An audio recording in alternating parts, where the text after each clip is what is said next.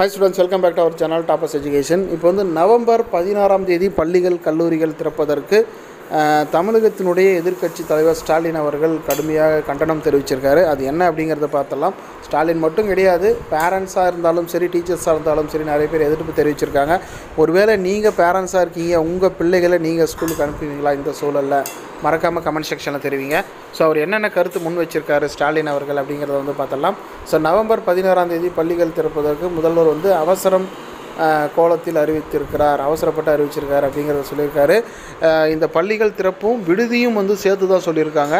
விடுதி திறப்பு வந்து பார்த்திங்கன்னா அது வந்து பாதுகாப்பு அந்த அளவுக்கு கிடையாது. உணவு போன்ற விடுதி மாணவர்களுக்கு உண்டான உணவு வழங்குதல் பாதுகாப்பெல்லாம் சொல்லிக்கிற அளவு இருக்காது அப்படிங்கிற ஒரு தகவலை தெரிவிச்சிருக்காரு. அது மட்டும் இல்லாமல் நைன்த் டென்த்து லெவன்த் டுவெல்த்துக்கு வந்து திறப்பதாக சொல்லியிருக்காங்க. இதில் வந்து துவக்கப்பள்ளி மாணவர்களை விட உயர்நிலை பள்ளி மாணவர்களுக்கு தான் வந்து அதிக பாதிப்பு ஏற்படும் அப்படிங்கிறத எச்சரிக்கை வந்து சொல்லியிருக்காங்க. ஓகேங்களா? ஸோ இது வந்து பார்த்திங்கன்னா இது வந்து தொ- உயர்நிலை மேல்நிலைப் பள்ளி மாணவர்களுக்கும் ஆசிரியர்களுக்கும் அதிகமாக பரவும் சொல்லிட்டு ஆராய்ச்சி முடிவுகள் சொல்வதாக தெரிவிச்சிருக்காங்க.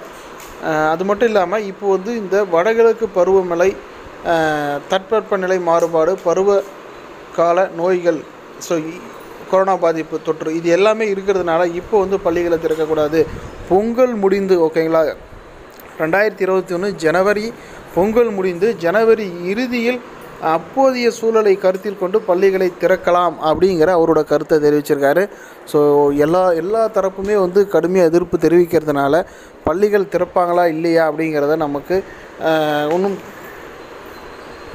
சிறிது நேரத்தில் இல்லது ஒன் ஆர் டூ டேஸில் நமக்கு தெரிஞ்சிடும் அப்படின்னு நான் நினைக்கிறேன். ஸோ உங்களோட கருத்து என்ன அப்படிங்கிறத மறக்காமல் கமெண்ட் செக்ஷனில் தெரிவிங்க.